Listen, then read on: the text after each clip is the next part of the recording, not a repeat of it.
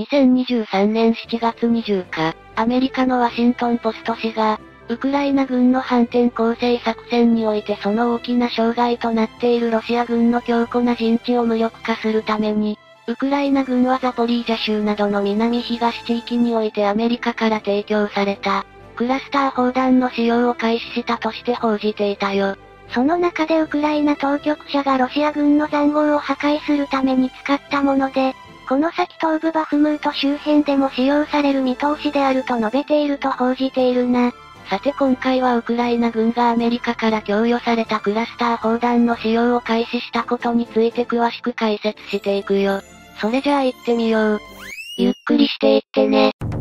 ウクライナ軍においては、陸軍のタルナフスキー准将が13日の時点で、まだクラスター砲弾を受け取ったばかりで使用していないが、戦況を根本的に変えることができると語っていたほか、シルスキー陸軍司令官もまたアメリカから供与されたクラスター砲弾は数日以内に使用できるようになると言及していたよ。また、アメリカ衛安全保障会議 NSC のカービー戦略広報調整官が20日の記者会見において、アメリカから供与されたクラスター砲弾の使用が開始されたことを明らかにしており、軍事関連ブログなどではドネツク州の州都ドネツクの西に近いマリンカ付近の戦線で、このアメリカから供与されたクラスター砲弾が使用された視覚的な証拠があるとしているんだ。カービー戦略広報調整官は、これに関してはウクライナ軍から使用したとする報告があったことを明らかにし、ウクライナ軍は非常に効果的にかつ適切にクラスター砲弾を使用していると説明したね。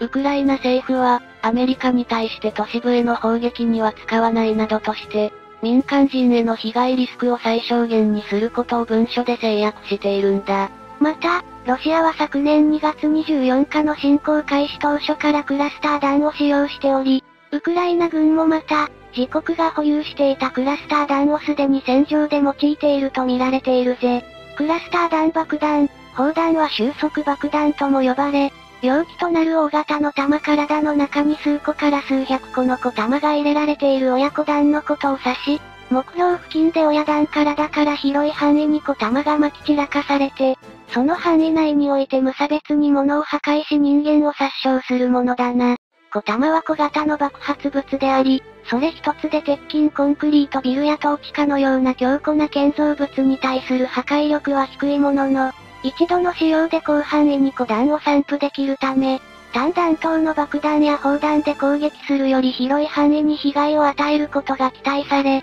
面を制圧する際に有用な兵器であるとされているってわけだ。一部のマスコミや軍事専門家、あるいはインターネット上の書き込みなどで、クラスター弾は遮蔽物のない広い場所において兵士を殺傷するくらいしか使いようがないとして、ウクライナ軍の反転攻勢のサポートにはならないのではないか？とする意見が散見されているけど、正直それはクラスター弾への理解が足りていないよね。クラスター弾の小弾には様々な種類の弾頭が存在しており、例えば攻撃対象が歩兵や軽車両である場合では小型爆弾の他に対人地雷を師団として搭載するものがあるんだ。また、装甲の厚い装甲戦闘車などを攻撃対象として開発されたものもあり、アメリカ軍では対人対装甲車両用の小弾が202発搭載されている CBU-87B や、戦車などより厚い装甲を持つ車両を攻撃目標とする対装甲用小弾が10発搭載されている CBU-97B、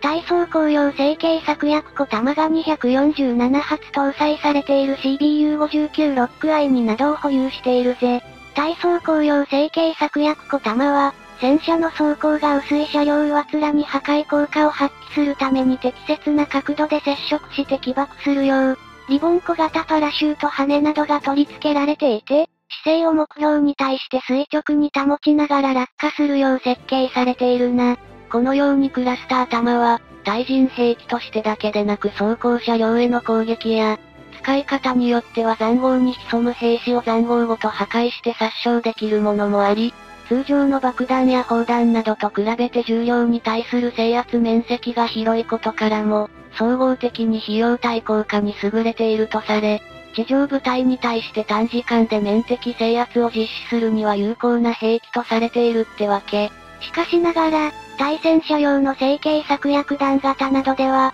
指向性が強い子弾で弾頭部が下を向くようパラシュートやリボンなどで落下姿勢を調整すると説明したが、このことで落下速度が弱まって接触しても新艦に十分な衝撃が加わらずに不発となる場合や、あるいはリボンやパラシュートが木や建物に引っかかって不発となる場合があるほか、対装甲車両地雷や対人地雷の場合はそれらが、接触によって爆発するまでその地に止まるため、戦闘後に一般民間人を殺傷する可能性があるぜ。5弾の種類や性質運用状況にもよって不発弾の発生率は数パーセントから40%近くにまで達する場合あって、ウクライナにおいてロシア軍が使用したクラスター弾の不発率は30%から40%にも上るとされ、ウクライナ軍が使用しているとみられる旧ソ連製クラスター弾の不発小弾がウクライナ国土に多数残されることが懸念されているよ。一方、アメリカがウクライナに提供するクラスター弾の小弾の不発率は2.35%以下に抑えられているとされ、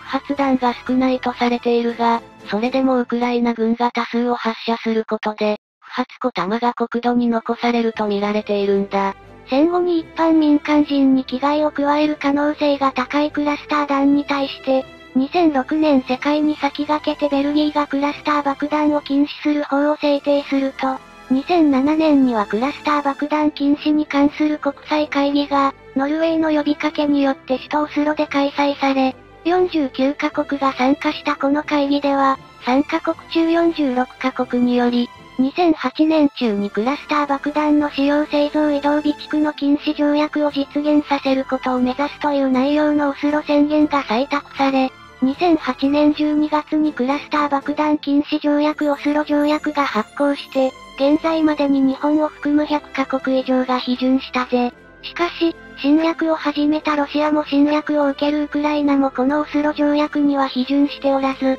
ウクライナにクラスター弾を提供したアメリカもまたオスロ条約を批准していないな。ウクライナ軍は今後、現在ロシア軍が構築した残壕などによる強固な防御戦によって進軍がはかどらない南部戦線だけでなく、昨年からの激戦が続くドネツク州バフムート近郊やロシア軍が攻勢に出ていると見られている。ルハンシク州の戦線などでもクラスター弾を使用していくと見られているね。その戦線の一つであるバフムートについて、イギリスの BBC 放送がシルスキー陸軍司令官とのインタビューを放送し、シルスキー陸軍司令官のバフムート奪還への考えが明らかにされたよ。その中でシルスキー司令官は、バフムートの戦いで我々は多くの仲間や兵士を失い、町の奪還は名誉の問題だとして、バフムートは廃墟になってしまったが、我々はこれを取り戻さなければならないと決意を語っているんだ。これに対してインタビュアーが、